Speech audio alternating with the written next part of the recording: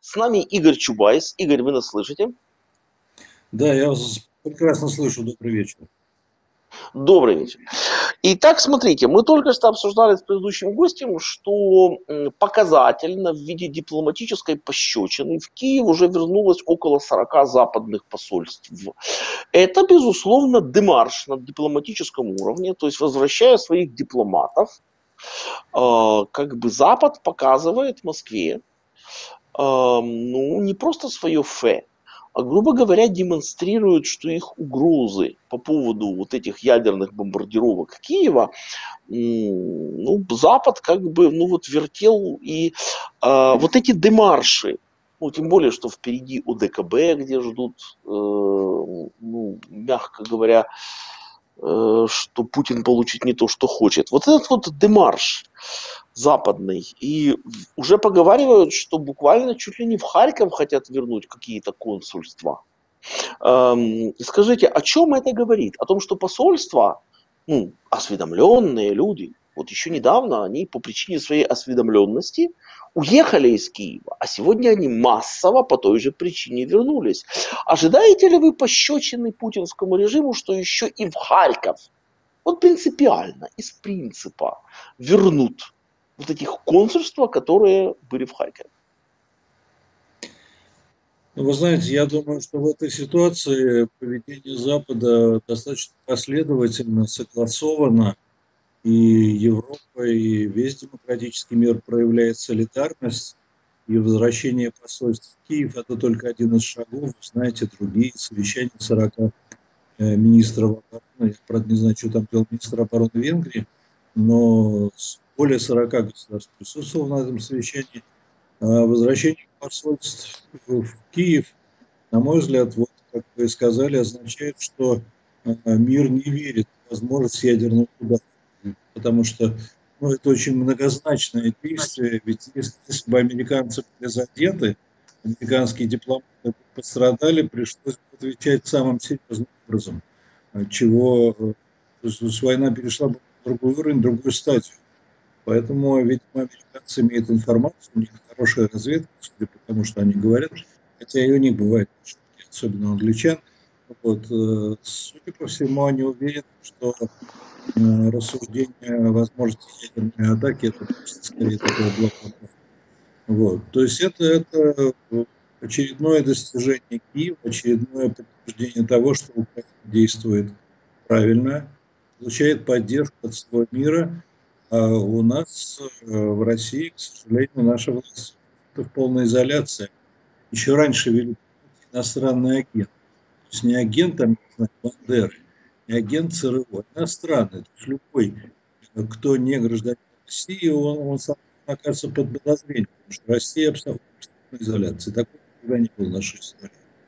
Даже в советской. А русская вообще не а,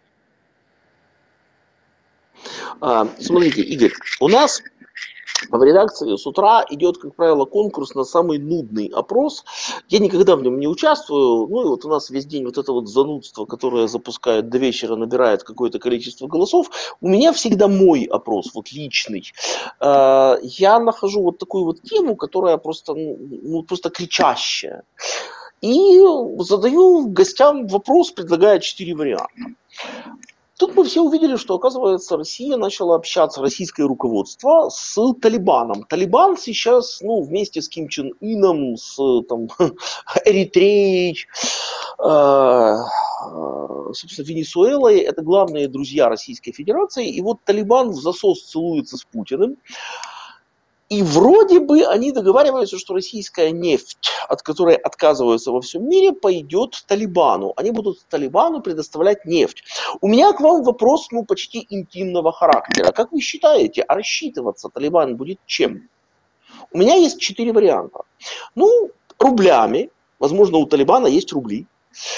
Героином, Тут я точно скажу, что героин у них есть, это сто процентов. То есть это героин не рубли, то есть наркота это не рубли. У Талибана наркота есть. А, Еще есть два варианта. Это девственницами Ну и, конечно, оружием, которое им досталось вот, вот, вот после того, как афганская армия благополучно сдалась, в отличие от украинской, без боя. То есть афганская армия сделала прямо противоположное тому, что делает украинская армия. Так вот, чем Талибан будет рассчитываться с Кремлем за нефть, если что? Как вы думаете? Ну, я бы сказал, что вообще социологический опрос в тоталитарном государстве – это довольно странная вещь, потому что здесь люди не свободны, потому что действует огромная пропаганда. Если вы спрашиваете лично меня, я думаю, что Талибан ничем не может ответить и расплатиться за нефть, у него просто нет таких ресурсов. Но попытаться, как бы, наркотики, просто сказать, в некотором смысле, э, не знаю, гашиш, что там это Э, конвертируемая валюта криминального мира. То есть весь криминал строится вот именно на это. Поэтому вот в Аргентине там случайно обнаружили в школе при, советском, при российском посольстве э, дети, что ли, затащили, там так и не объяснили, несколько сотен килограмм с наркотиками. Вот. Причем расследование не было проведено. Вот если в ходе какого-то протеста в Москве молодой человек бросит пластиковый стаканчик – он получает э, соответствующий срок.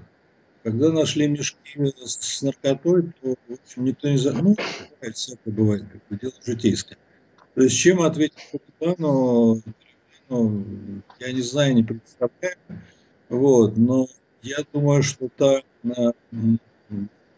а, та блокада, которая намечается, которая обсуждается, которая, скорее всего, будет введена, ну, допустим, Словакия будет покупать газ, потому что иначе нет. В общем, его завести из газопровода через Украину. Но огромное количество потребителей откажется от нашей нефти. Вот. Э, сложная проблема, сложный вопрос. Но э, это будет очень серьезный удар по российской экономике, по российскому бюджету. Удар будет не в один день, через какое-то время это станет. Очень сильный шаг если удастся проявить солидарность, согласие. Вот, а Талибан сегодня это друг, завтра это враг, завтра это еще что-то.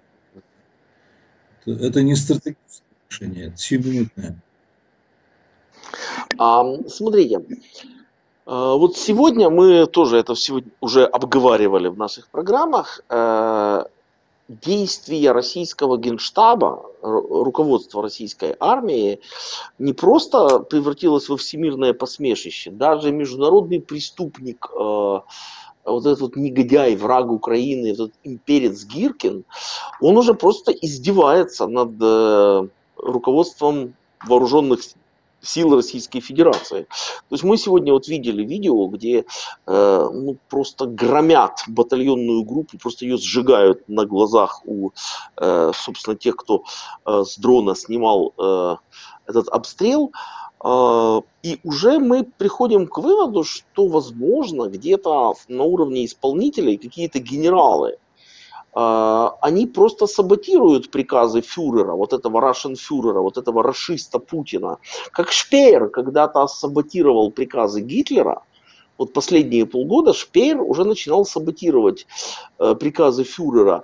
Уже возникает ощущение, что э, ну, тут в Генштабе начался саботаж, потому что разгром и выкинутая армия из Киевской области российской и Черниговской области сегодня выкинута из Харьковской области.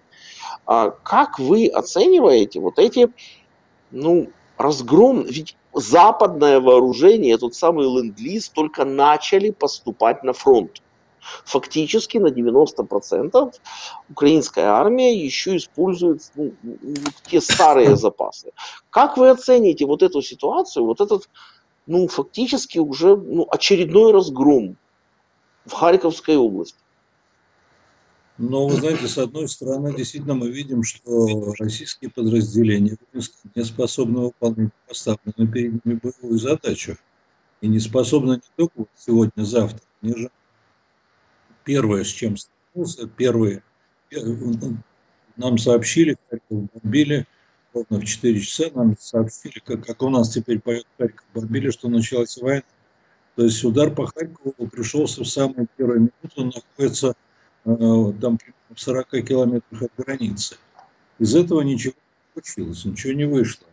И подразделения отходят, потому что очень много факторов, но, видимо, вся система не работает. Вот вспомнили, э, вспомнили э, ситуацию в Германии, между прочим, генерал-полковник Иванов за несколько дней до начала этой страшной войны он опубликовал и подписал заявление офицерского собрания российского, где говорилось, что э, ни в коем случае нельзя думать, что эта война будет веселой прогулкой, которая займет несколько часов или несколько дней.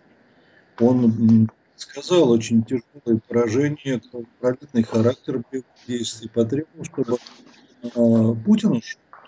Вот. Но его не послушали, но сценарий, по которому не сценарий, а реальная история, которой разворачивается катастрофическая война, он как раз близок к тому, не к тому, что говорил Шойгу, а к тому, что э, говорил Ивашев. Вот. А то, что в тоталитарном государстве присутствует ложь на разных формах, это видно и по современной России, это видно по немецкой истории, по истории Третьего Рейха, потому что одна из версий, почему Гитлер так на Великобританию, а пошел на восток, потому что руководитель разведки Канадец, он э, испытывал симпатии к Англии, он давал такие что англичане слишком сильны, не стоит с ними связываться. Хотя вопрос, что бы было, если бы Рейх высадился на берегах. То есть стратегические просчеты возникают из-за того, что система работает неправильно. Вот и э, здесь ситуация с Харьковом э, похожа, потому что думал, они везли форму, а действительно нужно было совсем.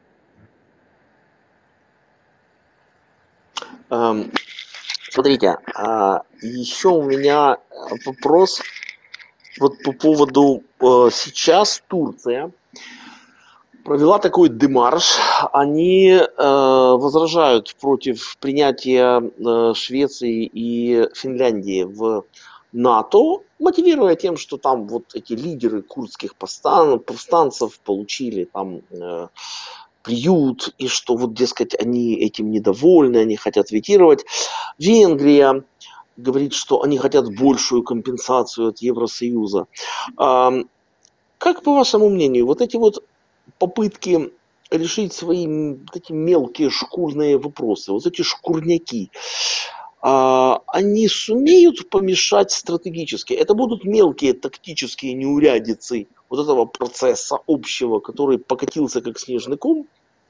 То есть, э, или все-таки это замедлит. Будет ли это влиять существенно на тотальную изоляцию России, на расширение НАТО.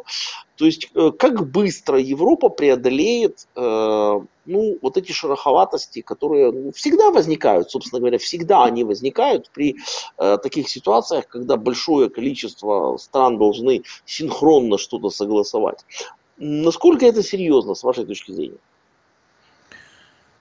Вы знаете, я думаю, что принятие таких важнейших решений, как поддержка, стратегическая военная поддержка Украины странами Запада, как расширение НАТО, это не такой банальный вопрос. И неудивительно, что возникает несогласие, возникают разные мнения и так далее, и так далее. Видите, что американский конгресс проголосовал за а, ленд-лиз, а нашелся сенатор фамилия, которая хотела и тормозила, сказать, э, вот теряется время. Но я думаю, что такие частные вопросы существуют механизмы для их решения. Все-таки вопрос об отношениях между Турцией и Финляндией вопрос второй, даже третий.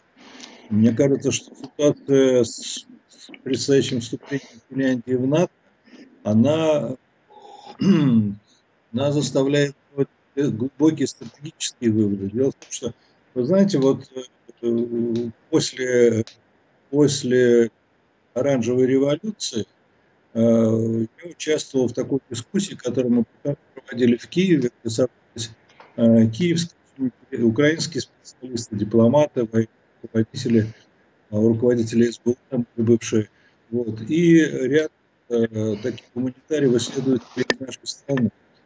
И по многим вопросам мы все желали демократии.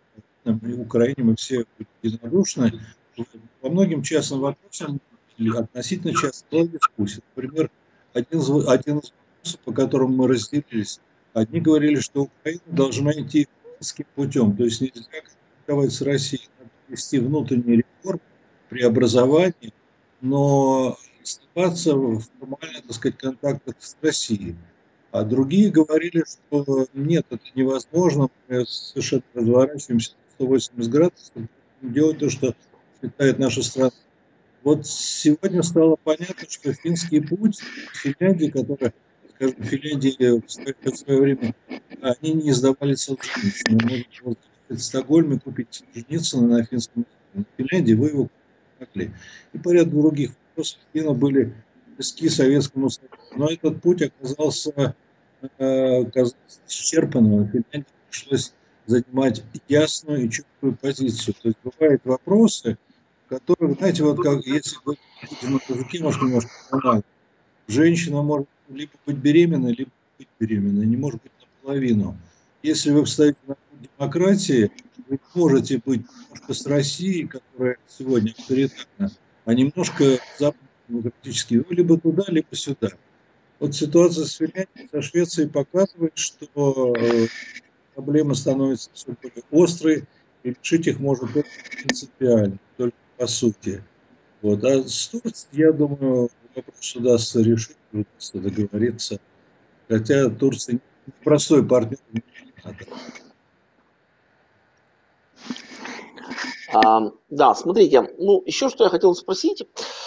Э, весь мир шокирован, ну, особенно шокированы, конечно, граждане Украины. Мы видим постоянные вот эти вот видео, вот эти опросы на улицах, где корреспондент спрашивает жителей России о ситуации, и огромное количество людей вдруг начинает нести пургу о том, что надо быстрее заканчивать, надо вот решительнее проводить операцию в Украине, надо Польшу захватить.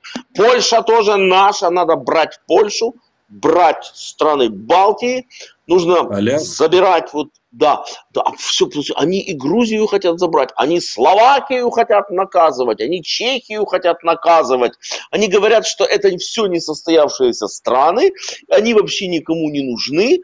И вот скажите, вот это вот, вот это вот, ну, почти религиозное помешательство. Вот российская же власть вкладывает людям вот это пренебрежительное отношение к соседям, вообще к другим нациям, и вдалбливает в голову, что быть русским – это уже быть исключительно вот привилегированным человеком, что достаточно быть русским, и тебе можно грабить, убивать, насиловать, решать вопросы других стран. Вот это вот повторение брежневского маразма, и гиммлеровского вот этого бесчеловечного э, садизма. То есть фактически ну, Путин там многостаночник. Он э, ухитряется повторять Геббельса и Брежнева в одном лице.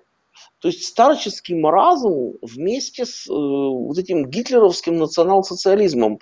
Он фашист-маразматик. И это нравится 80% одурманенного народа. Вот как из этой ситуации будут выходить, что 20-й съезд, опять Хрущев, там, ну, то есть вот будет, вот, вот так же будет или как? Ну, вы знаете, вы задали сразу много вопросов, я попробую хотя бы на парочку ответить. А, это иллюзия, что 20-й съезд развенчал Сталинщину. На самом деле, летом 1953 года, после того, как 5 марта сдох э, красный тиран, Сталин, вот, после этого начались восстания в лагерях. В, в, самые главные сильные восстания были в Иркутии и Норильске. Руководитель этих восстаний был э, Евген Грицак из Ивано-Франковской области, с ним был в контакте, в переписке, и Игорь Доброшан из, из Днепра, Петровска, украинцы были. А, и а, эти восстания были настолько мощные, что Хрущев понял, что э, дальше продолжать вот эту сталинскую систему ГУЛАГа невозможно, начал его распускать. Поэтому вообще дело не в 20-м съезде, и те э, которые циркулируют в авторитарном государстве, это практически всегда, ну, это называется операция информационного прикрытия. Вот они сказали, что это неонацисты, но э, точно сказать, что дело вовсе не нацист совершенно цели, а формально это прикрывается лозунгом «мы боремся с неонацизмом». То есть вот здесь всегда нужно э, разбираться языковой и многоуровневости, а то, что на самом деле, что почему и так далее. Теперь просто социологических опросов. Вы сказали, 80% отвечают. Да? Я, например, не могу сказать, сколько отвечает аргумента. Накануне, накануне развязки с его рейтинг 97 или 98 процентов. Потом сразу 0 процентов. Понимаете? Поэтому здесь бывают такие скачки. Но я приведу более простую аналогию. Представьте на минуту, что вы живете э, в так называемой ДНФ. И к вам, и ваши взгляды, вот они и были такие, остались, многих э, других такие же взгляды. Знаете, там есть очень родственники, которые там совершенно нормальные люди. Но вот представьте, что приходится, проводится социологический опрос. И приходит э, социолог к вам домой, в квартиру, знаю ваш адрес, фамилию, и задает вопрос, вы поддержите политику нашего президента? Но представляете, что в этой ситуации 20% респондентов у нас другое мнение. Вот это удивительно, что 20% отвечает нет. Вот что существенно. Поэтому, понимаете, когда у нас нас э, официально говорят о военной цензуре, но какие здесь опросы? Вы говорите? А то, что есть люди, которые э, принимают, э, разделяют пропагандистские убеждения, то, что навязывает ну, какая-то доля действительно есть. Но я думаю, что она невелика, и это даже люди, которые не понимают телевидение, они есть какая-то официальная пропаганда, не берут. Завтра будет другая, другую, послезавтра возьмут третью. Но э, все-таки я бы сказал, что ну, сейчас это вообще сложно, хотя еще более востребовано. Я не раз говорил в разных беседах там, с журналистами украинскими, ведь не создала систему мышления на России. Ведь нам очень не хватает, нам не нужна пропаганда. Вы передайте позицию своих руководителей, расскажите о позиции общественного мнения в Украине, расскажите о позиции президента, что в России это знают. А ведь это очень не знают. Они смотрят только, только первый канал, отсюда формируют свои взгляды. Поэтому вот это широкий взгляд.